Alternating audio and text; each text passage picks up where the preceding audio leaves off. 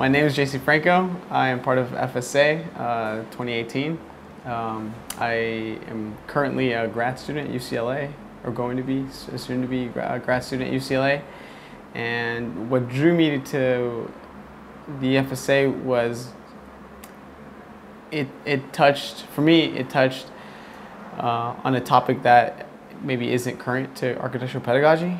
Um, it's somewhat avoided, um, and which is to question architectural pedagogy. It, it, it is essential for all disciplines to at some point uh, look at the state that they're in uh, and, and look beyond it uh, rather than rather than accept the norms that it, it lives under. And so uh, for me, FSA, with the prompt that was provided, it was at the very least a very lightweight structure, lightweight framework for questions to, to grow organically from a very diverse group.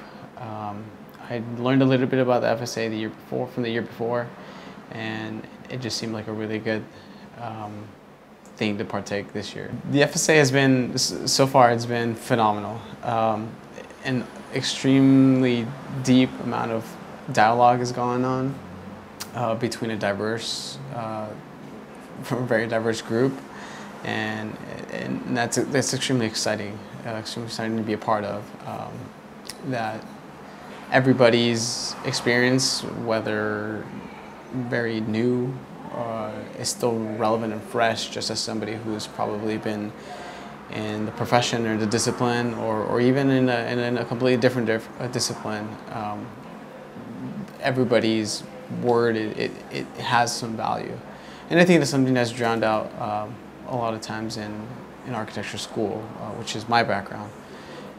When, when the leaders uh, and, and quite frankly participants of FSA that were starting up this year, uh, they specifically laid out a, a, light framework, which is something I referenced. Um, this this light framework is, I think, uh, absolutely necessary.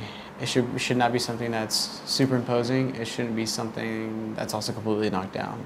There needs to be some sense of structure, um, but structure for the sake of uh, adapting to what the room is. Um, rarely was FSA ever all present um, in terms of the 40 plus participants.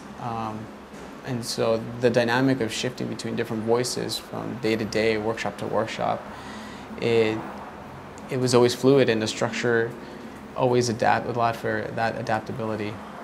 And, and that's super crucial. Um, it should, I doubt that FSA would be as successful as it is to me because um, if the structure were any different, if the structure were completely dissolved or intended to be dissolved or, or if it was a really rigid structure. Um, we, were, we were left in a really great position um, the way the school was laid out.